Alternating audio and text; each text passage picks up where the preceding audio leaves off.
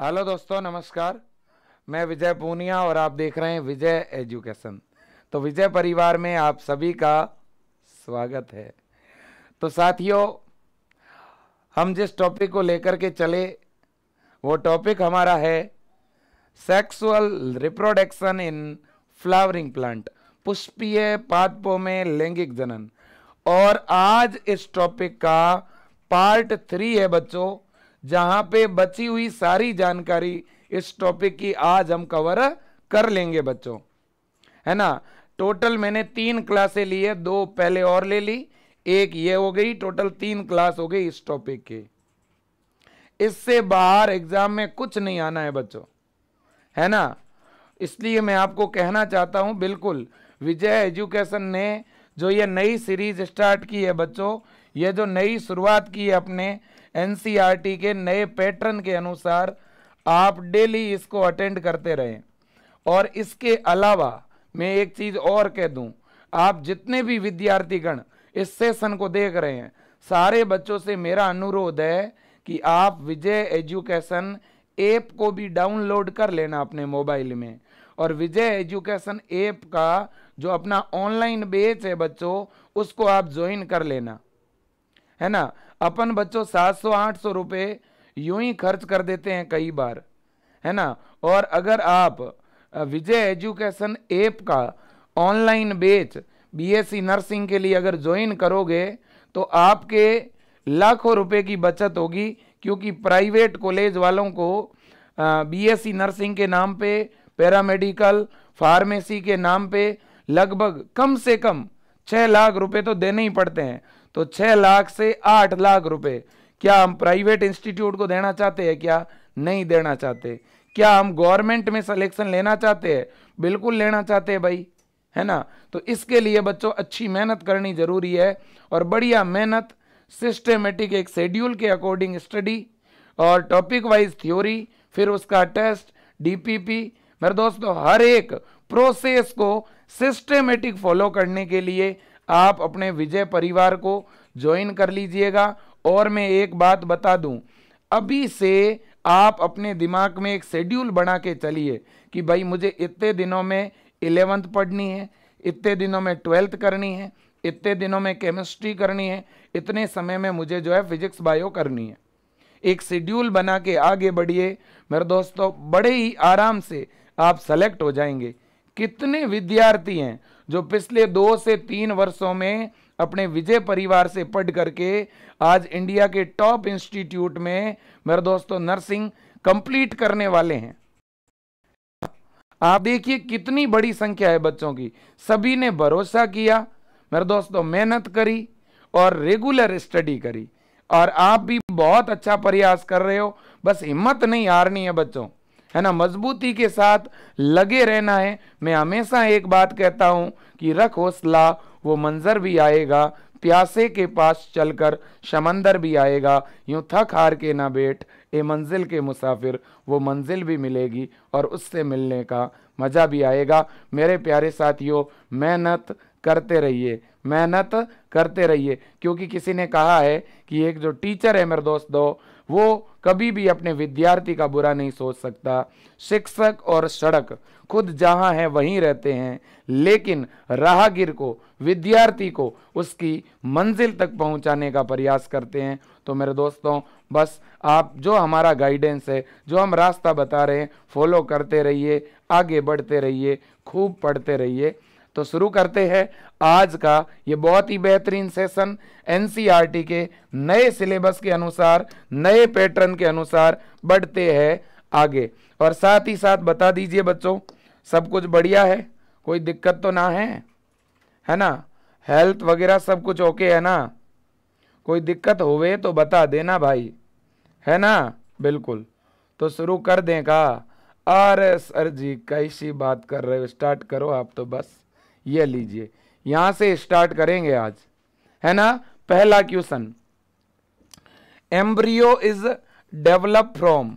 भ्रूण का कहा भ्रूण कहाँ से विकसित होता है?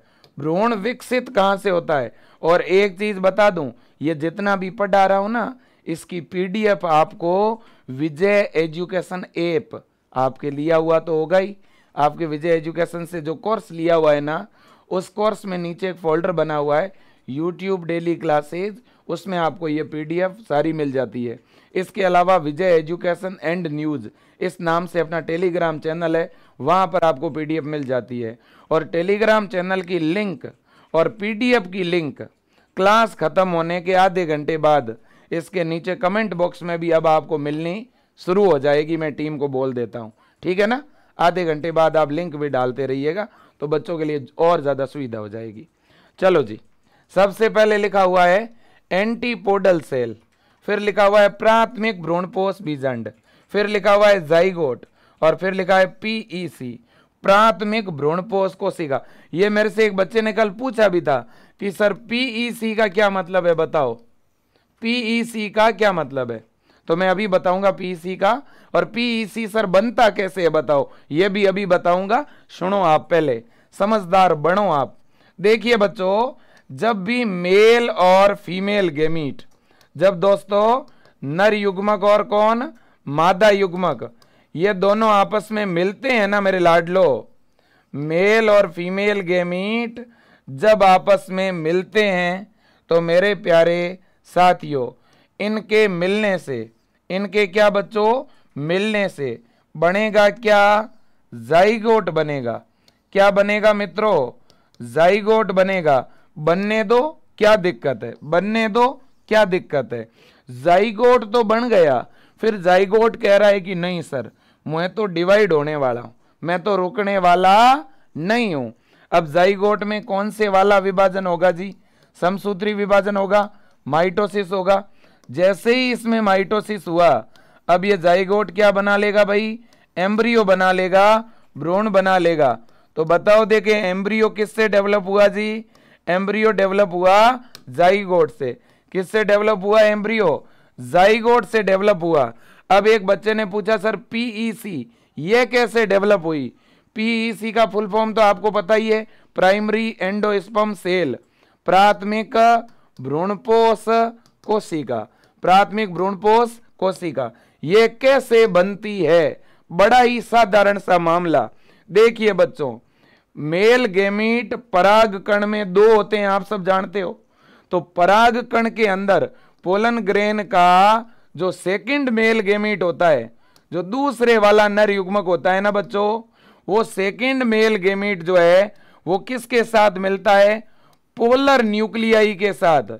जो बीच में दो केंद्रक वाली कोशिका होती है ना, भ्रूणकोश के अंदर, पोलर न्यूक्लियाई से मिलता है।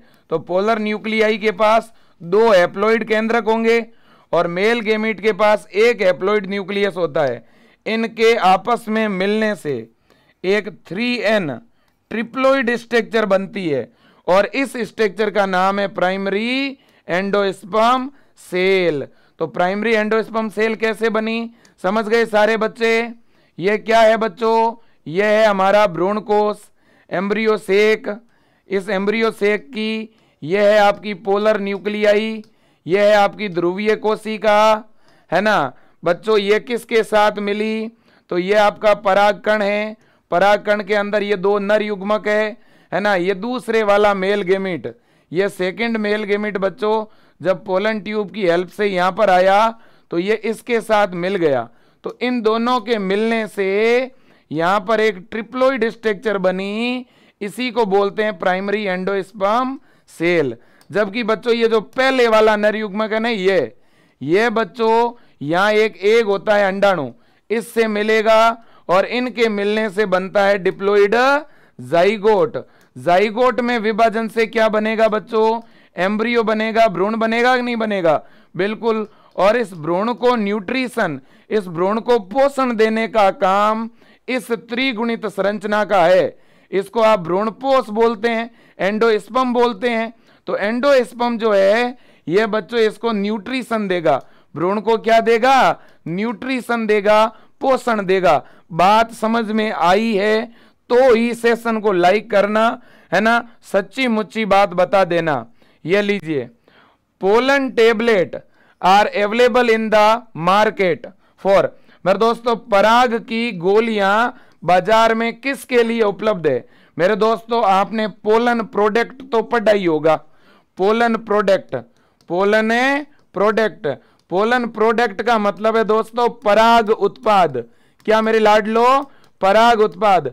पराग कण के अंदर भी बहुत सारे न्यूट्रिएंट होते हैं, बहुत सारे पोषक पदार्थ होते हैं। इसलिए बच्चों इसका पूरक आहार के तौर पर उपयोग होता है। खाद्य पदार्थ के रूप में इसका उपयोग होता है बच्चों। है कि नहीं? इस पोलन ग्रेन से बच्चों कुछ टेबलेट भी बनती है और पोलन ग्रेन से कुछ सिरप भी बनती है है ना? कुछ मेरे दोस्तों टेबलेट और कुछ इससे क्या बनती है? सिरप भी बनती है। तो आप फटाफट देखे, आंसर दीजिए। मेरे प्यारे लाडलो, फटाफट बताइए, देखे क्या लिखा हुआ पहला। इन विट्रो फर्टिलाइजेशन के लिए पोलन टेबलेट का यूज़ होगा क्या? बताओ, ब्रीडिंग प्रोग्राम के लिए, जनन कार्यक्रम के लिए यूज़ होगा क्या? सप्लीमेंट फ़ूड के तौर पर यूज़ होगा क्या? एक्स सी टू कंजर्वेशन के तौर पर, बही स्थानीय संरक्षण के तौर पर यूज़ होगा क्या? बताओ देखें, है ना? मुझे पता है सारे बच्चों का एक सा आंसर है और मुझे बढ़िया भी लग रहा है, क्या बात है भाई? है ना? बिल्कुल फ़ूड सप्लीमेंट के तौर पर, है ना? फ़ूड सप्लीमेंट या सप्लीमेंट फ़ूड कह सकते हो।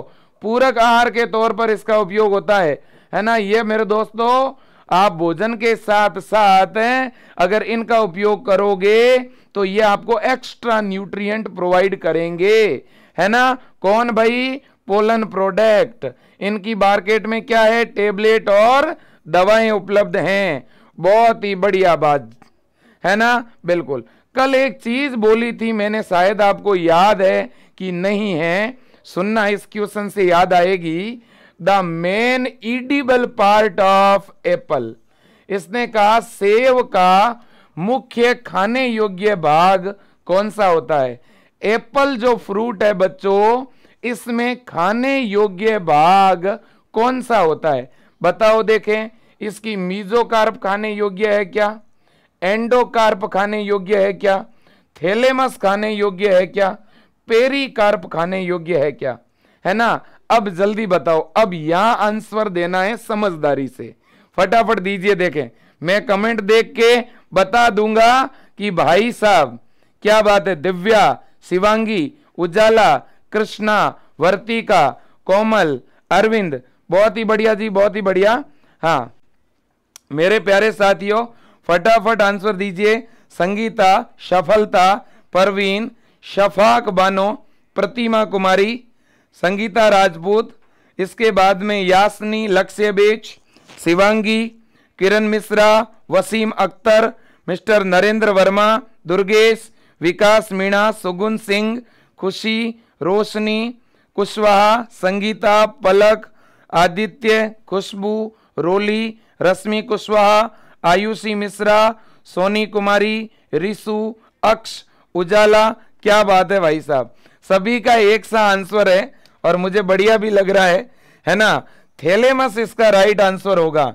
अब थेलेमस क्यों राइट आंसर होगा भाई? नॉर्मली एक फ्रूट के अंदर खाने योग्य भाग तो कौन सा होता है? उसकी मीजोकार्प होती है। अरे भाई, मध्य वाली जो भित्ती होती है, वही तो ज़्यादा मीठी होती है है ना? जैसे आम वगैरह हो गए। लेकिन ये जो सेब है ना बच्चों, ये जो है, ये एक तरह का फॉल्स फ्रूट है।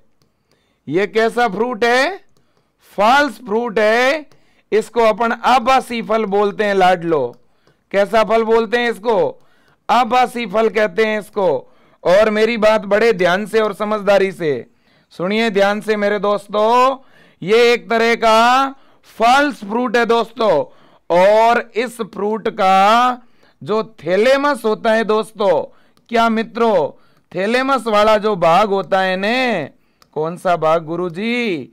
थेलेमस वाला भाग थेलेमस वाला भाग ही हम खाते हैं भाई साहब, है ना? आपने फ्रूट तो मेरे दोस्तों, सेव का तो बहुत यूज़ किया होगा। आप सेव में कौन सी चीज़ खाते हो? थैलेमस खाते हो? अरे गुरुजी, कैसी बात कर रहे हो? क्या इस सेव के अंदर सर, अंडा से जो है, वो फल नहीं बनाता क्या? अरे, बिल्कुल भी नहीं, है ना? मेरे दोस्तों, सेव के अंदर अंडा से जो है, वो फल में नहीं बदलता। अंडाशय के अलावा पुष्प के जो दूसरे भाग हैं, जैसे थैलेमस, अगर इससे फ्रूट बन रहा है तो ऐसे फल को आभासी कहते हैं।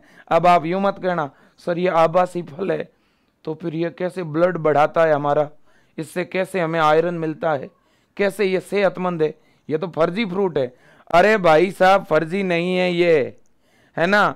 अरे अपन जो है, इसका जो फ्रूट वाला भाग है, वो मीजोकार्प नहीं है। थैलेमस से बना है। बाकी फ्रूट चाहे कोई भी हो, हर एक फ्रूट का अपना इंपॉर्टेंस है। उनसे कोई ना कोई मिनरल्स या कोई ना कोई न्यूट्रिएंट ज़रूर मिलता है। चाहे वो फाल्स फ्रूट हो चाहे वो ट्रू फ्रूट हो, चाहे वो वास्तविक फल हो, चाहे वो आभासी फल हो, है ना? बिल्कुल। ज़्यादातर फल बच्चों जो हैं, वो किससे बनते हैं? अंडा से बनते हैं, ओवरी से बनते हैं।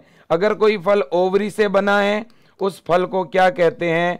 उसको बोलते हैं ट्रू फ्रूट और ओवरी से नहीं बना हो, किसी दूसरे भाग से बना हो, उसे फाल्स फल या आबासी फल कहते हैं, जिसका उदाहरण है सेव, और इसका राइट आंसर होगा थेलेमास। क्या बात है बच्चों? इतनी पढ़ाई कर रहे हो? मेरिट में आओगे का? है? भाई हद हो गई। ऐसे बहुत से लोग कहते हैं। कई बार है ना, महीने में एक आध बार कोई बंदा पढ़ने के लिए बैठ गया और उसी दिन घर पे आ गए गेस्ट। है ना? ठीक है, ये तो हमारे साथ भी बहुत बार हुआ है। तो भाई साहब, या कोई गेस्ट वगैरह आ भी जाते हैं ना कि अच्छा आ रहे हैं। चलो बैठते हैं थोड़ा पढ़ने के लिए। है ना? फिर भाई साहब बड़े गुड़गान होते थे। कुछ ऐसा ही कुछ बच्चे करते हैं। मैंने देखा भी है। है ना? वैसे तो पूरी उछल कूद करेंगे भाई साहब। है ना? अरे कोई आ गया, है ना? फिर बंदा बुक्स लेके बैठ जाएगा। सभी को लगेगा कि देखो भाई साहब, कितना बढ़िया पढ़ रहा है ना? कितना मेहनती बच्चा है। लेकिन, ठीक है ना? वास्तविकता तो क्या है? सेव वाली वास्तविकता है। है ना? बिल्कुल। तो चलते हैं आगे। बहुत ही बढ़िया। ये क्वेश्चन मैंने कल कराया था। The best example of polyembryony मेरे दोस्तों, हर एक एग्ज़ाम में क्वेश्चन आता है? पोली एम्ब्रियोनी का बहु भ्रूणता बोलते हैं इसको बहु भ्रूणता लेकिन बच्चों, एक चीज़ बोलूँ आपको। अब जो है ना, आप बहुत सुधर गए हो। पहले जितने नादान थे ना, अब उतने हो नहीं। है ना? जब आप सेवन में थे, एट्थ में थे, नाइन्थ में थे, तब बड़े ही नादान थे। अब नहीं हो। तो इसलिए अब आप जिम्मेदार भी बन गए हो और अगर कोई ज़्यादा जिम्मेदार नहीं है तो ज़िम्मेदारी जैसे आती है ना, उसका एहसास भी हो ही जाता है है ना? तो इसलिए थोड़ा प्रयास करो, एक बहुत बढ़िया मेहनत करते हुए आगे बढ़ो, है ना? जो चौके और छक्के लगाने हैं, वो ये समय है आपका, ठीक है? जो मेहनत के लगने चाहिए मेरे दोस्तों, ठीक है ना? अब लोगों को पता चल जावे कि फला फला का बेटा या फला फला की बेटी है ना? आज इंडिया के उस टॉप इंस्टीट्यूट में पढ़ रही है। ये आपके हाथ की बात है बच्चों। ये आप अपने दम से कर सकते हैं, अपने आईक्यू लेवल से कर सकते हैं। आज आप सब इक्वल हो, है ना? मुझे ऐसा लगता है कि अब से आपका जो रास्ता है, अब से आपका जो सफ़र है वो शुरू होता है। अब इस सफ़र को जो है, अब इस मेरे दोस्तों रास्ते को जो है, बहुत ही फुर्ती के साथ में, तेज़ी के साथ में मेरे दोस्तों कंप्लीट करना है। है ना? बिल्कुल। तो बताइए, देखे पोली एम्ब्रियोनी मैंने कल बोला था पोली एम्ब्रियोनी तो आएगा। पोली एम्ब्रियोनी का पहले मतलब क्या हुआ? मेरे दोस्तों, मेरे पास एक बीज है सीड है।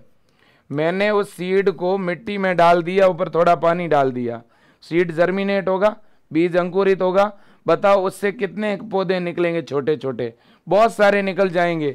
क्यों भाई? ऐसा क्या हो गया? इतने ज़्यादा कैसे आ गए इससे बाहर? है ना, इसमें बहुत ज़्यादा एम्ब्रियो भाई साहब। बहुत ही ज़्यादा एम्ब्रियो इसमें, है ना? तो याद रखना पोली एम्ब्रियोनी मैंगो में तो होती नहीं कैप्सिकम में भी नहीं होती और ना ही कोकस में होती है। सिट्रस के अंदर होगी, याद रखना, नींबू और संतरा, है ना? याद रख लोगे, पक्का, कोई दिक्कत है नहीं। बहुत ही बढ़िया, अच्छी बात है भाई, बहुत अच्छी बात है। मैंने कल एक चीज़ और आपको बताई थी, याद भी है आपको, pollen kit. Pollen kit is present in. Pollen kit पाई जाती है। मैं यहाँ दो चीज़ पूछूँगा। एक तो पोलन किट पाई किसमें जाती है और दूसरा पोलन किट बनी किसकी होती है। मुझे इसका संगठन भी बताना है कंपोजिशन इसका रासायनिक संगठन बताओ देखें। केमिकल कंपोजिशन केमिकल कंपोजिशन बताओ देखें। और दूसरी बात मुझे एक और बताओ। इसकी स्थिति, ये पोलन किट होगा कहाँ पे? है ना? कहाँ पे होगा ये? तीनों चीज़ें जो बच्चा बता देगा, है ना, वो बनेगा आज की केबीसी का विजेता। है ना? जल्दी बताओ, देखे, फटाफट आंसर आना चाहिए, क्या बात है। ऐसा लगना चाहिए कि ये विजियंस है। है ना? मेरे दोस्तों, बहुत बढ़िया आंसर दे रहे हो। क्या बात है, लक्ष्मी जी दिशा जी, नीरज जी सरोज जी, कृतिका जी, प्रिया वर्मा जी सीमा कुमारी जी, मनहेश दिव्या, सचिन। अरे सचिन, जल्दी बताओ देखें। सचिन जी, बहुत बढ़िया क्वेश्चन आया ये है ना? बिल्कुल। हाँ। अरे वाह, क्या बात है। ललिता, पूजा, Diksha, Abhijit, Roohi, Nagma, Gulabo, Roli, Aarti, Yasni. Sangeeta, doctor Geeta, Sheema Sapna Gurmukhi, Shiva. Very good, क्या बात है। इसके बाद में रोली चौधरी, अटल बीच। बहुत बढ़िया, नाम के साथ में बीच का नाम तो ज़रूरी लगा दीजिए, जो बच्चे ऐप में जुड़े हुए हैं, है ना? बिल्कुल बढ़िया लगता है अच्छा लगता है। हाँ जी, सुनिए सुनिए सुनिए, मेरे मित्रों, मेरे साथियों, आप जो बता रहे हो वो सही है। कि हम बता रहे हैं, वो सही है। अभी पता चलेगा बाबू। देखो, क्या लिखा? एनिमोफिलस फ्लावर भाई, ये पोलन किट एनिमोफिलस फ्लावर पे कब होने लग गया? एनिमोफिलस का मतलब तो ऐसा फ्लावर जिसमें वायु से परागण होता है। किससे? वायु से। ये एग्ज़ाम में पूछा जाता है। है ना? एंटोमोफिलस फ्लावर पहले सुन लो, ये पोलन किट है क्या? ये है हमारा पराग कण, पोलन ग्रेन। है ना? ये अपना पोलन ग्रेन है बच्चों, पराग कण है। पराग कण के बाहर, पराग कण के बाहर भाई साहब किसी ने ऑयल पेंट कर दिया। पराकण के बाहर किसी ने क्या कर दिया? ऑयल पेंट कर दिया लिपा पोती कर दी। लिपा पोती का मतलब जानते हो, जब कोई बच्चा ठीक से पढ़ाई नहीं करता है ना फॉर्मलिटी कर लेता है ना कहीं पर भी फॉर्मलिटी होती है टाइम पास होता है तो उसको बोलते हैं, ये हमने इस पोलन ग्रेन के बाहर टाइम पास किया, ये लो। अब बच्चों, जब इस पोलन ग्रेन के बाहर मैंने बच्चों इसको ऑयली बना दिया, मैंने इसके बाहर की सरफेस को तेलीय बना दिया तो मेरे लाडलो है ना? इस आवरण को हम पोलन किट बोलते हैं। इस आवरण को हम क्या कहते हैं? पोलन किट कहते हैं। ये लो जी, पोलन किट। पोलन किट तो पोलन किट पोलन ग्रेन के बाहर के आवरण को बोलेंगे। और ये किसका बना हुआ है? ये बच्चों, तेलीय पदार्थों का बना हुआ है। किसका बना हुआ है? तेलीय पदार्थों का, जैसे केरो, केरोटिनोइड, केरो केरो, केरोटिनोइड। है ना? बिल्कुल। इसके बाद मेरे से तो स्थिति मैंने बता दी, रासायनिक संगठन मैंने बता दिया। अब मेरे से पूछेगा, ये पोलन किट कौन से पोलन ग्रेन की विशेषता है?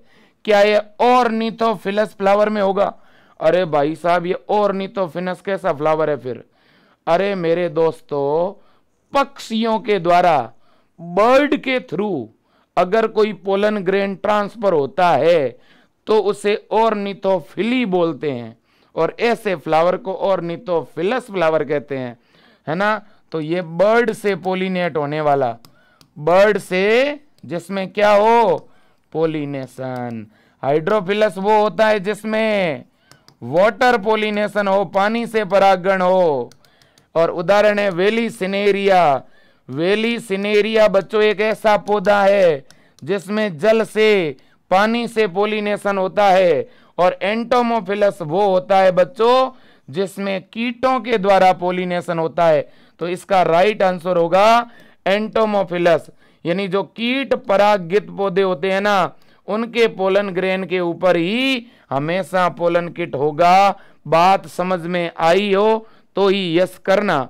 बच्चों, पोलन ग्रेन के बाहर एक तेलीय, एक वसीय एक केरोटिनोइड की परत है मेरे मित्रों। उसको हम पोलन किट कहेंगे। पोलन किट की मदद से ये पोलन ग्रेन इजीली बच्चों जो है कीटों के साथ चिपक भी जाता है, और आगे ट्रांसफ़र भी हो जाता है है ना? और दूसरी बड़ी बात यह है कि भाई ये ना तो एनिमोफिलस फ्लावर में होगा, ना आपका हाइड्रोफिलस में होगा, और ना ही ऑर्निथोफिलस में होगा, एंटोमोफिलस में होगा, है ना? एनिमोफिलस फ्लावर, जिसमें एयर पोलिनेशन हो ऑर्निथोफिलस जिसमें बर्ड के थ्रू पोलिनेशन हो, हाइड्रोफिलस, वाटर के द्वारा पोलिनेशन हो हाइड्रोफिलस का एग्ज़ाम्पल बताओ बाबू। अरे भाई, इसका एग्ज़ाम्पल वेलिंसनेरिया है। याद रखो हाँ। नहीं तो हो जाएगी पिटाई ओ गुरु जी एक बात बोलूँ? बोलो। सर, आज एक डायग्राम नहीं लाए। अरे, हमारी टीम लाई नहीं कहा करो बाबू। अब सुनो। ये क्वेश्चन मैं तो इसको बोलूँगा वेरी वेरी मोस्ट सुन लो मेरी बात। मैंने जितने भी पेपर देखे हैं बच्चों मैंने एक ये क्वेश्चन देखा है। नंबर चेंज होते हैं, सीधी सी बात है भाई। और मैंने कल क्लास में बोला नहीं था। मैंने कहा था, मेरे दोस्तों माइक्रो स्पोरोजिनेसिस और मेगा स्पोरोजिनेसिस से एक क्वेश्चन आएगा। समझ रहे हो? अरे मैं कैमरे को उस तरफ़ आके समझाऊं? नहीं तो समझो। सुनो, मेरे मित्रों, मेरे भाइयों और बहनों मेरे परिवार जनों, अब मोदी जी बोलने लग गए हैं। चुनाव जैसे ही नज़दीक आता है, हमारे मोदी जी बोलते हैं, मेरे परिवार जनों। है ना? बिल्कुल। मेरे दोस्त, राजनेता जो होते हैं ना, है, अलग ही मिजाज के होते हैं सारे। चाहे भाजपा हो, कांग्रेस हो, कोई भी पार्टी हो। है ना? बिल्कुल। उनकी अग्नि परीक्षा है अब। है ना? जैसे आपकी अग्नि परीक्षा कब है? मई, जून में है ना? उस समय भाई साहब हालत खराब हो जाती है, दुबक जाते हैं हम लोग। है ना, पेपर हाथ में आता है, रोंगटे खड़े हो जाते हैं। ऐसी हालत हो चुकी है सभी नेताजी की, चाहे कोई भी पक्ष और पार्टी हो, है ना? हाँ अब देखिए बच्चों, मेरे पास सौ परागकण है, सौ परागकणों के निर्माण के लिए कितने अर्धसूत्री विभाजन की आवश्यकता होती है? कितना बढ़िया प्रश्न पूछा है? और मैं इस तरह की क्वेश्चन आपके कभी गलत नहीं होने दूँगा। दो मिनट ध्यान देना। देखो क्या लिखा हुआ है। How many meiotic division are require for the formation of 100 pollen grain मेरे को कितने पोलन ग्रेन बनाने हैं भाई? सौ पराग कण बनाने। कितने? सौ पराग कण बनाने। ओके। सौ पराग कण बनाने के लिए बच्चों, इतना तो आप भी जानते हो कि मुझे पोलन मदर सेल पराग मात्र कोशिका ये द्विगुणित होती है। पच्चीस चाहिए। कितनी चाहिए? पच्चीस, क्योंकि एक से चार बनता है। बराबर बात, एक से चार बनेगा तो पच्चीस से सौ बन जाएगा। अब इसने कहा, इनमें कितना विभाजन होगा? मियोटिक डिवीज़न कितना होगा? अरे भाई साहब, देखो, ये एक को सीखा है। मान लो, ये एक को सीखा है द्विगुणित। ये एक पीएमसी है। तो एक से, इस एक में मियोसिस हुआ? एक अर्धसूत्री विभाजन से चार बनते हैं। एक अर्धसूत्री विभाजन से कितने बनते हैं? चार। तो अगर मैं 25 डिवीज़न करा दूँ 25 डिवीज़न करा दूँ तो 25 five into four is equal to one hundred तो 25 विभाजन की ज़रूरत पड़ेगी बच्चों। कितने विभाजन कराने पड़ेंगे? तो मेरे पास, अगर ये क्वेश्चन ऐसे पूछता ना पीएमसी कितने चाहिए? तो वो भी 25 चाहिए।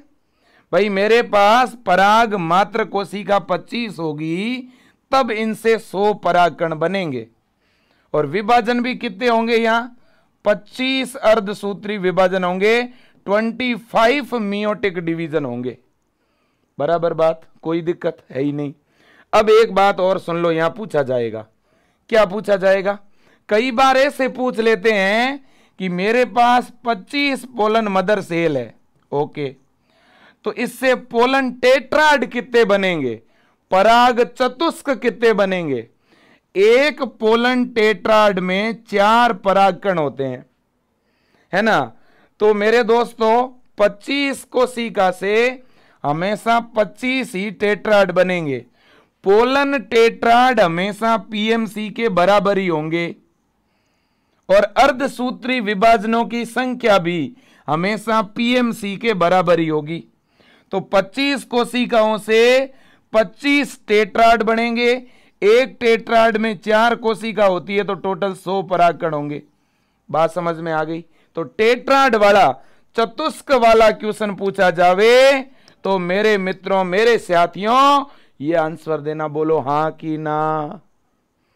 ज़ोर से बोलो सुना ही नहीं दिया। हाँ सर। Yes, sir. बहुत बढ़िया, सर। सुनो जी, सुनो। ये हो गया। लेकिन मुझे पता है आप एक गड़बड़ करोगे। पता है क्या करोगे? ये वाली गड़बड़ करोगे, ये। अब अगर आपसे कोई मेगा स्पोर पूछ लेगा ना, मुझे पता है आप गड़बड़ कर दोगे। मेगा स्पोर मेगा स्पोर मेरे दोस्तों, मुझे बनाना है, मुझे फंक्शनल मेगा स्पोर बनाना है। मुझे क्रियाशील, गुरु बीजाणु बनाना है मेरे मित्रों, मुझे क्रियाशील क्या बनाना है? गुरु बीजाणु बनाना है। कितना बनाना है, सर? मुझे टोटल बनाने हैं चार सौ। अब बताओ, मेरे पास में एम एम सी कितनी होनी चाहिए? मेरे पास गुरु बीजाणु मात्र कोशिका कितनी होनी चाहिए? यहाँ मामला अलग तरह का है बच्चों। यहाँ 400 एमएमसी से 400 ही गुरु बीजाणु बढ़ेंगे क्रियाशील। है ना? एक से एक बनता है 400 से 400 बनेगा। है ना? लेकिन बच्चों, उधर मामला अलग था। अगर पीएमसी वाला मैटर आ जाए, मेरे को 400 पराग कण बनाने हैं 400 पोलन ग्रेन बनाने हैं तो यहाँ पे 100 पीएमसी कितनी? 100 देखो अंतर। समझ रहे हो? क्यों? जानते हो? यहाँ एक से चार बनती है, लेकिन तीन हो जाती है नष्ट। पीछे एक ही बचता है, क्रियाशील। ये बात मैं बता चुका हूँ पहले आपको। है ना? आगे बढ़ेंगे मित्रों, आगे बढ़ेंगे। है ना? बिल्कुल। ये लो जी, इतना बढ़िया क्वेश्चन, इतना शानदार क्वेश्चन, इतना बेहतरीन क्वेश्चन, है ना? मैं एक ऐसा क्वेश्चन लाऊँगा, है ना मेरे दोस्तों? आप देखना तो वो ये वाला क्वेश्चन है। देखो, एक पराग मातृ कोशिका, अगर बच्चों कहीं पे मातृ कोशिका लिखा हुआ है, अगर कहीं पे मदर सेल लिखा हुआ है तो वो डिप्लोइड होती है बच्चों, याद रखना हमेशा। एक पराग मातृ कोशिका चार पराग कण का निर्माण करती है। ये तो मैंने अभी थोड़ी देर पहले ही बोला। अरे मैंने थोड़ी देर पहले बोला, एक पोलन मदर सेल से चार पोलन ग्रेन बनते हैं। पोलन ग्रेन को पीजी लिख रहा हूँ, ओके। जिनमें से प्रत्येक में दो नर केंद्रक और एक नली का केंद्रक होता है। इन्हें बनने के लिए कितने अर्धसूत्री विभाजनों की ज़रूरत पड़ती है? ये लो जी, हो गई गड़बड़। कैसे गड़बड़ हुई? अरे वो सेम ही तो क्वेश्चन दोबारा पूछ लिया। नया क्या पूछ रहे हो भाई? नया तो कुछ नहीं पूछ रहे। आपके पास एक पोलन मदर सेल है और एक से आप चार पोलन ग्रेन बना रहे हो। तो सीधी सी बात है जितनी पीएमसी होती है, उतने ही मियोसिस होंगे, याद रखना। अरे, जब बच्चों आपके पास कोसी का एक है तो विभाजन तो एक ही होगा ना। कितनी हल्की बात करते हो। लेकिन इसने बच्चों आपको डराया। कैसे डराया पता है? इसने लाइन को क्वेश्चन को यूँ खींचा? खींच के आगे क्या लिखा? देखो, जिसमें दो नर केंद्रक, एक नली का केंद्रक। बच्चा सोच रहा है, यार, ये क्या चीज़ हो गई? चलो, एक पोलन मदर से से एक पोलन, चार पोलन ग्रेन बने, ये तो ठीक है। और कितने मियोसिस होंगे, ये भी ठीक है। लेकिन ये बीच वाली क्या चीज़ है भाई? सुनो सुनो आप। आंसर तो एक होगा, लेकिन सुनो। समझदार बनो, है ना? ये पीएमसी है, इसको पोलन मदर सेल कहते हैं, है ना? ये डिप्लॉयड होती है। ये लीजिए, एक पोलन मदर सेल है मेरे पास। मैंने इस पोलन मदर सेल में मियोसिस कराया, समझते रहना। मैंने इसमें अर्धसूत्री विभाजन कराया। अर्धसूत्री विभाजन कराने से ये चार पोलन ग्रेन बन गए। चारों ही एप्लॉइड है। ये लीजिए चार बन गए। अब देखो, अब एक बात समझना। ये कोई भी एक पोलन ग्रेन उठा रहा हूँ। इसने ये कहा था कि प्रत्येक पोलन ग्रेन में दो नर केंद्रक और एक नली केंद्रक। ये क्या चीज़ होती है गुरुजी? ये तो हमने सुनी नहीं अभी सुनोगे। एक पोलन ग्रेन में बच्चों, एक होता है वेजिटेटिव और एक आपका होता है जनरेटिव न्यूक्लियस होता है। ये आपका जनन केंद्रक है, ये आपका काइक केंद्रक है। इतना तो आप भी जानते हो। ये वेजिटेटिव हो गया और ये आपका जनरेटिव हो गया। तो सर, अभी क्वेश्चन में तो दो लिखे हुए थे, दो? और एक नली केंद्रक, ऐसे तीन थे, सर, आप झूठ बोल रहे हो। अरे, नहीं बोल रहा झूठ, सुनो तो सही। बच्चों, ये जो काइक कोशिका है ना, ये वाली, ये पोलन ट्यूब के अंदर चली जाती है। इसलिए इसको हम ट्यूब न्यूक्लियस भी कह सकते हैं। ये आपका नली केंद्रक हो गया। और ये जनन कोशिका है ना, ये वाली ये विभाजित होकर के दो नर युग्मक बनाती है। है ना? इसलिए इनसे दो न्यूक्लियस बढ़ेंगे देखो, अभी बनाते हैं अपन। अब होगा क्या? आगे देखो। जब ये पोलन ग्रेन जो है, इस वर्ती कागर के ऊपर आता है ना, स्टिग्मा पे तो बच्चों, इस पोलन ग्रेन का ये जो काइक केंद्रक है ना, ये वाला, ये बच्चों, इस पोलन ट्यूब के अंदर चला जाता है ऐसे। ये यहाँ आ जाएगा, ये लो जी। है ना? तो ये आपका काइक केंद्रक हो गया वेजिटेटिव न्यूक्लियस आगे आ गया। अब पीछे वाला जो ये जनन केंद्रक है ना, ये डिवाइड होगा ऐसे। ये डिवाइड होगा तो यहाँ पे दो केंद्रक और बने। ये आपके नर युग्मक है इनको बोलते हैं मेल गेमीट नर युग्मक तो अब ये पोलन ग्रेन तीन केंद्रीय की अवस्था में आ गया। अब इसमें तीन कोशिका हो गई, आप यूँ समझो। ये मेल गेमीट है। तो यही तो बात लिखी हुई थी क्वेश्चन में। लेकिन बच्चों, आप एक बात समझो, अब ये जो जनन कोशिका है, ये जो यहाँ डिवाइड हुई, जब ये जनन कोशिका डिवाइड हुई तो यहाँ कौन सा विभाजन हुआ पता है? ये खुद हेप्लोइड है, अगुणित है। अगुणित केंद्रक में हमेशा माइटोसिस होता है, हमेशा समसूत्री विभाजन होता है।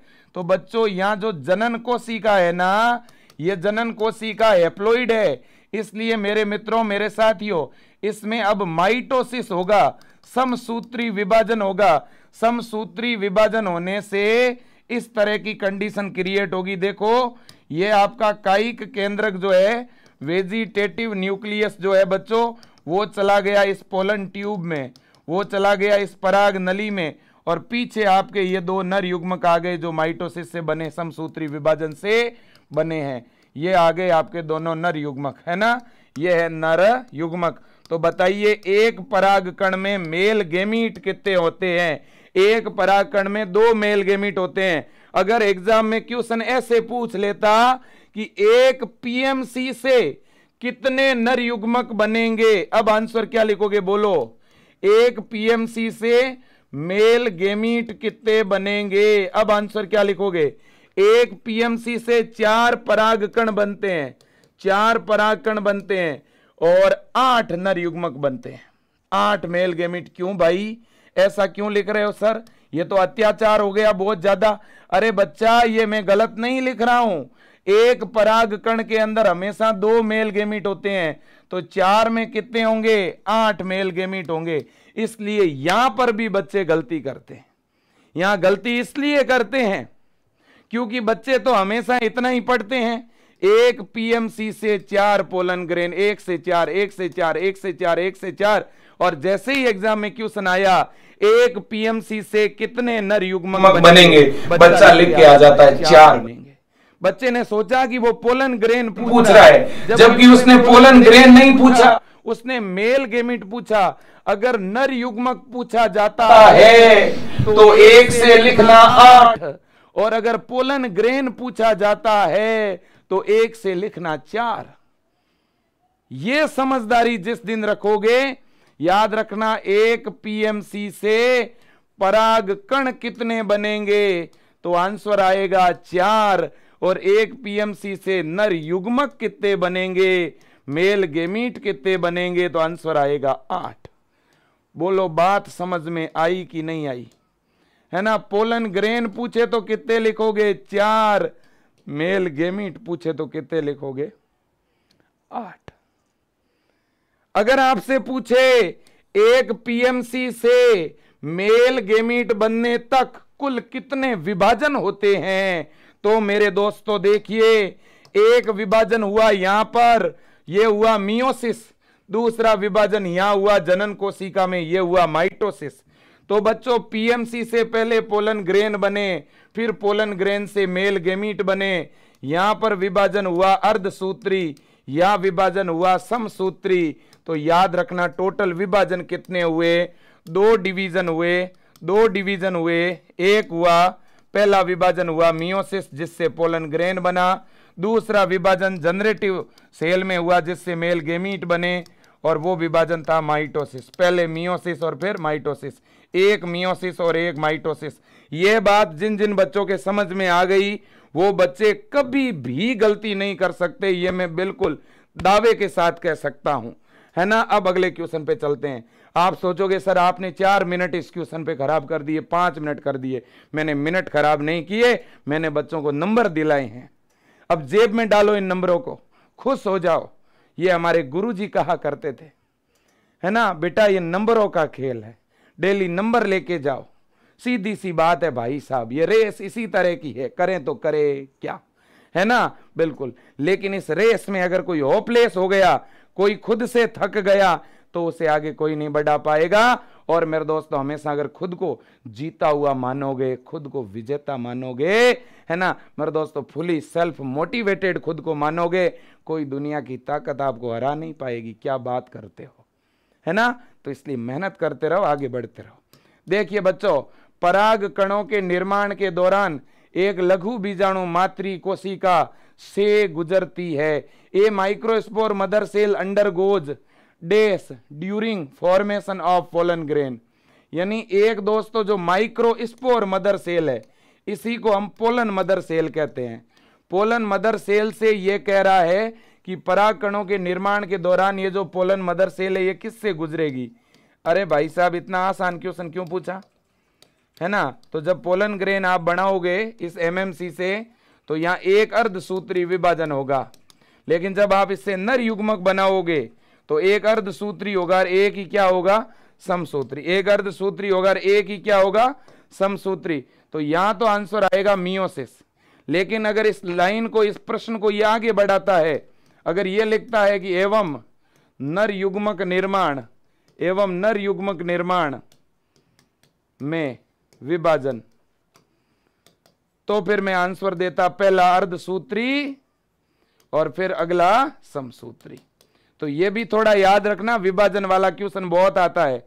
परागकण बनाना हो तो मियोसिस होगा और पोलन ग्रेन से मेल गेमीट बनाना हो तो माइटोसिस होगा। और सीधा मेल गेमीट बनाना हो तो एक पहले मियोसिस कराओ, फिर दूसरा माइटोसिस करा दो। ये बात समझ में आ गई? बिल्कुल आ गई गुरुजी, बिल्कुल समझ आ गई। ओके जी, ओके। अगला क्वेश्चन। अगले क्वेश्चन पे चलें, अगर आप बोलो तो क्यों नहीं गुरुजी, क्यों नहीं? बिल्कुल चलेंगे, अच्छे वाले क्वेश्चन पे चलेंगे, है ना? ये लीजिएगा ये लीजिएगा। मेरे दोस्तों, काम की चीज़ बता रहा हूँ और आज जितनी बातें बता के जाऊँगा, सारी एग्ज़ाम के लायक होगी, अच्छी होगी, आपके नॉलेज को बढ़ाने वाली होगी। आवर्त बीजियों के कितने प्रतिशत में नर युग्मकोद्भिद को तीन कोशिका वाले चरण में ट्रांसफ़र किया जाता है? In what percentage angiosperm the male gametophyte. Male gametophyte का मतलब होता है पोलन ग्रेन, यानी पराग कण। Male gametophyte is shed at, three cell stage. यह है बच्चों पराग कोश। ये आपका क्या है मेरे मित्रों? इस तरह का तो नहीं होता, लेकिन आप समझ लो ये पराग कोश। इस पराग कोश में ये पोलन ग्रेन बने। अब यहाँ से पोलन ग्रेन निकला, ये लो जी। ये पोलन ग्रेन इससे निकल गए। है ना? तो अब निकल के कहा आएँगे? इस स्टिग्मा तक आएँगे। तो बच्चों, यहाँ पूछा यह जा रहा है कि इस पराग कोष से, इस एंथर से जब ये पोलन ग्रेन बाहर निकलेगा तो इस पोलन ग्रेन में कितनी कोशिकाएँ होगी? ये कितने कोशिकीय अवस्था में निकलेगा? तो मैं दो बातें बोलूँ? बोल दो। साठ प्रतिशत पौधे, सिक्सटी परसेंटेज पौधों में बच्चों, ये दो कोशिकीय अवस्था में निकलेगा। एक कोशिका होगी जनन, दूसरी कोशिका होगी काइक। पीछे बचे हुए जो 40 प्रतिशत पौधे होंगे, उनमें तीन कोशी की अवस्था में निकलेगा। 40 परसेंटेज पौधों में तीन कोशी की अवस्था में निकलेगा पोलन ग्रेन। जिनमें दो होंगे नर युग्मक और एक होगी काइक बस यही बात आपको याद रखनी है। है ना? दो तो क्या होंगे? नर युग्मक मेल गेमीट है ना? और एक होगी काइक कोशिका। तो इसने कहा, तीन कोशी की अवस्था में कितने प्रतिशत पौधों में? आंसर आएगा फोर्टी परसेंटेज पौधों में। बढ़िया जानकारी है, अच्छी जानकारी है मित्रों। आगे बढ़ेंगे। और एग्ज़ाम में ऐसे पूछता तो ज़्यादातर 60 परसेंटेज जो एंजियोस्पर्म होते हैं, उनका जो पराग कण है, वो कितनी कोशी की अवस्था में एंथर से रिलीज़ होगा तो टू सेल स्टेज में रिलीज़ होगा। 60 परसेंटेज में पोलन ग्रेन जो है, वो टू सेल स्टेज में रिलीज़ होगा। दो कोशी की अवस्था में क्या होता है बच्चों? रिलीज़ होता है जबकि 40 परसेंटेज जो एंजियोस्पर्म होते हैं, उनमें ये थ्री सेल स्टेज में रिलीज़ होगा, याद रखना। ओके? बिल्कुल लास्ट क्वेश्चन आज की क्लास का लेना चा, चाहेंगे है ना? बिल्कुल और एक बिल्कुल बात यह भी कहना चाहूँगा मेरे दोस्तों बिहार के बच्चे और उत्तर प्रदेश के बच्चे लगातार मैसेज करते हैं कि सर हम एम्स की तैयारी भी साथ करना चाहते हैं और बिहार नर्सिंग की तैयारी साथ करना चाहते हैं तो क्या हमारी लक्ष्य बेस से हो जाएगी? जी हाँ अगर कोई भी बिहार का बच्चा अगर इस लक्ष्य बेच में जुड़ता है तो AIIMS, BSc nursing, AIIMS paramedical, Bihar, BSc nursing, Bihar paramedical. इसकी तैयारी इसी बेच से हो जाएगी, अलग से कोई बेच ज्वाइन करने की ज़रूरत नहीं है। है ना? बिल्कुल इसी तरह से जो उत्तर प्रदेश के बच्चे हैं, मैं उनको भी बता दूँ कि यूपी के लिए जो आपका अटल बेस है बच्चों, उस अटल बेस से कंप्लीट प्रिपरेशन हो जाएगी। इसी से एम्स की तैयारी हो जाएगी, इसी से यूपी नर्सिंग की हो जाएगी। यूपी नर्सिंग के अलावा भी कोई एग्ज़ाम देना चाहोगे तो आपकी प्रिपरेशन हो जाएगी। अलग से कोई बेच लेने की ज़रूरत नहीं है। इसी बेच में जुड़ के बढ़िया विजय एजुकेशन ऐप में स्टडी करते रहो, कोई दिक्कत आने वाली नहीं है। इसी तरह से राजस्थान के बच्चे जो है, वो जीत टू ज़ीरो बेच में ज्वाइन करके पढ़े। लेकिन एक राजस्थान के बच्चों को बात कहूँगा अगर कोई राजस्थान का बच्चा राजस्थान वाला भी एग्ज़ाम देना चाहता है, एम्स वाला भी एग्ज़ाम देना चाहता है तो फिर उनको एम्स वाले बेच में जुड़ के पढ़ना है। एम्स वाले बेस से ही राजस्थान की तैयारी, एम्स वाले बेस से ही उनकी, मेरे दोस्तों, एम्स एग्ज़ाम की तैयारी हो जाएगी। मेहनत बढ़िया करवाएँगे और आपको भी बढ़िया करनी है। अब एक तरह से बच्चों खुद को तैयार कर लो, है ना? बिल्कुल, बस इतना ही टाइम बचा हुआ है। ठीक है, खूब मेहनत करनी है खुद को मेरे दोस्तों प्रिपेयर कर लो कि हाँ मुझे तो आगे बढ़ना है भाई साहब, मुझे तो पढ़ना है। है ना? अब फटाफट वन लाइनर क्वेश्चन देख लेते हैं। वन लाइनर क्वेश्चन जल्दी से जल्दी एक बार देख लेते हैं बच्चों। है ना? वन लाइनर क्वेश्चन भी कुछ इस तरह के हैं जो डायरेक्ट आपके एग्ज़ाम में आते हैं। है ना? बिल्कुल। सबसे पहली चीज़, फटाफट देखना है वन लाइनर क्वेश्चन को तो। सिट्रस में बहुभ्रूणता की खोज किसने की? बच्चों, वैज्ञानिक का नाम है ल्यूवेन हॉक कौन? Leeuwenhoek. ल्यूवेन हॉक ने बच्चों पोली एम्ब्रियोनी की डिस्कवरी करी थी। है ना? अगला है पुष्प का लघु बीजाणु पर्ण कौन होता है? What is the micro sporophyll of flower पुष्प के अंदर माइक्रो स्पोरोफिल किसे बोलते हैं? लघु बीजाणु पर्ण किसे कहते हैं?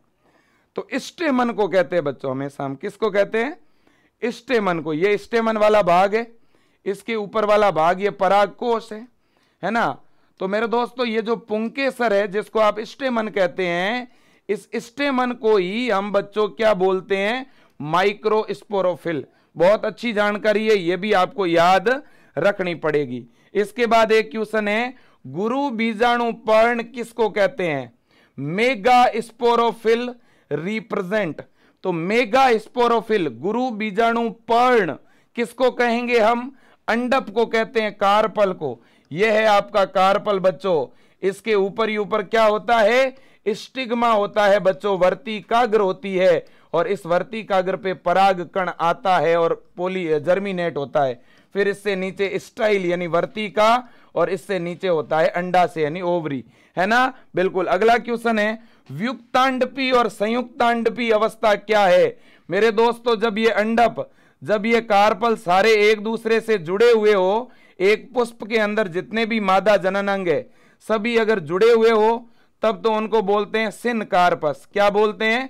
Syncarpous. और इसका उदाहरण है पेपे वर। पेपे वर। और अगर ये सारे कार्पल अलग अलग हो बच्चों एक फ्लावर में तो इसको बोलते हैं एपोकार्पस। क्या बोलते हैं? एपोकार्पस, है ना? और इसका उदाहरण है माई सेला देखिए, एपोकार्पस व्युक्तांडपी जब कार्पल फ्री हो सेपरेट हो, और सिन कार्पस जब कार्पल फ्यूज हो कार्पल जुड़े हुए हो यह चीज़ याद रखना बच्चों। ठीक है ना? कार्पल का मतलब अंडप, यानी मादा जनन अंग मादा जनन अंग बच्चों। ओके बिल्कुल। अगले क्वेश्चन की तरफ़ चलते हैं। देखिए भ्रूण कोष की तीन निभागीय कोशिका को क्या कहते हैं? Three chalazal cell of embryo sac ये बच्चों आपका भ्रूण कोष है ना? भ्रूण कोष आपको पता ही है, बीजांड के अंदर होता है। है ना? ये अपना बीजांड हो गया। अब बीजांड का ये बीजांड द्वार है, माइक्रोपाइल, और ये है चेलेजा निभाग और यहाँ पे आपका ये भ्रूण कोष है। अब इस निभाग की तरफ़ की जो ये तीन कोशिका होती है, इस भ्रूण कोष में इनको क्या कहते हैं? ये पूछा है। तो निभाग की तरफ़ की जो तीन कोशिका होती है बच्चों, इनको हम एंटीपोडल सेल बोलते हैं, प्रतिमुखी कोशिका। जबकि इस भ्रूण कोष में नीचे की तरफ़ की जो तीन कोशिका होती है, इनको हम अंड समुच्चय बोलते हैं, एग एपार्टस बोलते हैं। क्या बोलते हैं? अंड समुच्चय या एग, अपार्टस बोलते हैं। याद रख लेना ये। बीजंड द्वार की तरफ़ होती है। किधर होती है? बीजंड द्वार की तरफ़ होती है। है ना? बिल्कुल। कीट परागित पुष्पों के परागकणों के चारों ओर पाई जाने वाली तेलीय परत को क्या कहते हैं? Oily layer found around pollen grain of insect pollinated flower कीटों से परागित होने वाले जो पोलन ग्रेन है, इनके बाहर एक तेलीय परत होती है, उसको क्या कहते हैं? उसको पोलन किट कहते हैं बच्चों। क्या कहते हैं उसको? पोलन किट कहते हैं। नेक्स्ट क्वेश्चन की तरफ़ जाएँगे मेरे दोस्तों। है ना? देखिए, एक टर्मिनोलॉजी है प्रो प्रो एंड्री और एक टर्मिनोलॉजी है दोस्तों प्रोटोगाइनी तो प्रो एंड्री और प्रोटोगाइनी, है ना, इन शब्दों को देखिए। एक तो है मेरे दोस्तों, क्या? पूर्वजता और एक है स्त्री पूर्वजता एक है पुम पूर्वजता और एक स्त्री पूर्वजता है ना, एक प्रोटो एंड्री और एक है आपका प्रोटो गाइनी देखो, गाइनी शब्द फीमेल के लिए आता है और एंड्री शब्द मेल के लिए आता है, जैसे एंड्रोजन। टेस्टेस्टेरोन को बोलते हैं कि नहीं बोलते हैं? है ना गायनो शब्द गायनोलॉजिस्ट डॉक्टर होता है है ना स्त्री लोग विशेषज्ञ तो गाइनो शब्द फीमेल के लिए। तो दोस्तों प्रोटो गाइनी, ये टर्मिनोलॉजी एग्ज़ाम में आई हुई है बच्चों, याद रखना। तो देखिए, एक ही पुष्प के वर्तिकाग्र पराग कोष से पहले परिपक्व होते हैं। जैसे ये वर्तिकाग्र है बच्चों, अगर ये वर्तिकाग्र अगर ये स्टिग्मा पहले मेरे दोस्तों मेच्योर हो, और जो पराग कोष है, वो बाद में मेच्योर हो तो उसे बोलते हैं प्रोटोगाइनी स्त्री पूर्वजता है ना? और अगर कोई फ्लावर है बच्चों, उस फ्लावर में एंथर यानी पराग कोष पराग कोष पहले मेच्योर होता है, पहले परिपक्व होता है तो उसे बोलते हैं प्रोटो एंड्री याद रख लोगे? बिल्कुल। और लास्ट वन लाइनर जो चीज़ है, वो भी आपके सामने रखना चाहूँगा। ये लीजिएगा केलेज। केलेज एंजाइम जो है, इसका सीक्रेशन कौन करता है? केलेज एंजाइम कहाँ होगा? मेरे दोस्तों, जो पोलन पोलन ग्रेन जब आपस में जुड़ते हैं तो इसको बोलते हैं पराग चतुष्क। पोलन टेट्राड और पोलन टेट्राड आपस में बच्चों केलोज से जुड़ते हैं। किस पदार्थ से जुड़े होते हैं? केलोज से ये जुड़े होते हैं। और केलोज को डाइजेस्ट करने के लिए केलोज को पचाने के लिए बच्चों और पोलन ग्रेन को सेपरेट करने के लिए इस केलेज एंजाइम की रिक्वायरमेंट होती है और केलेज एंजाइम को टेपिटम जो है वो सीक्रेट करती है, टेपिटम, याद रखना। Callase secreted by tapetum layer. और टेपिटम किसकी लेयर है बच्चों? पराग कोश की सबसे अंदर वाली लेयर है। माइक्रो स्पोरेंजियम की सबसे अंदर वाली लेयर है। ओके? बिल्कुल। इसके बाद एक शब्द और है Ubisch body secreted by Ubisch body का यूबिस काय का श्रावण कौन करता है? बच्चों, ये यूबिस काय है ना, यही आगे चल करके स्पोरोपोलेनिन बनाता है। स्पोरोपोलेनिन यूबिस काय हो, चाहे केलोज हो, ये सभी टेपिटम से ही सीक्रेट होते हैं बच्चों। क्लियर है? बिल्कुल। तो ये जानकारी थी बच्चों, रिप्रोडक्शन इन फ्लावरिंग प्लांट की मैंने मेरा प्रयास मैक्सिमम किया है आपके लिए। है ना, एक 40-45 मिनट की क्लास में मेरे दोस्तों, मैक्सिमम से मैक्सिमम डिलीवर कैसे किया जाए, ये प्रयास किया है। मैं चाहता हूँ मेरे दोस्तों, आप आगे बढ़ें। जो दूर दराज इलाकों के बच्चे हैं, जो गाँवों से बिलोंग करते हैं, ठीक है, जिनके पास लाखों रुपए फ़ीस देने के लिए नहीं है, जो बड़ी बड़ी कोचिंगों में ऑफलाइन अठारह हज़ार, बीस हज़ार, पंद्रह हज़ार फ़ीस नहीं दे सकते, जो कई महीनों तक बड़े बड़े शहरों में नहीं रह सकते, जिनके फैमिली की कुछ परिस्थितियाँ भी है। ऐसे बच्चों का परिवार है विजय एजुकेशन, जहाँ पूरे भारतवर्ष में सबसे कम फ़ीस में पढ़ाया जाता है।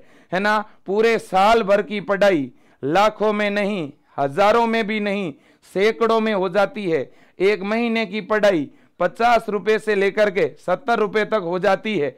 इससे बढ़िया परिवार और कोई हो नहीं सकता। मैं चाहता हूँ बच्चों, आप भी खड़े होइए, आप भी आगे बढ़िए, आप भी बाकी बच्चों के साथ कंधे से कंधा मिला करके चलिए। आप कम भी नहीं है, आप कमज़ोर भी नहीं है है ना? बस इतना ही कहना चाहता हूँ, आप आगे बढ़िए, आप आगे बढ़िए। जय हिंद, वंदे मातरम। Thank you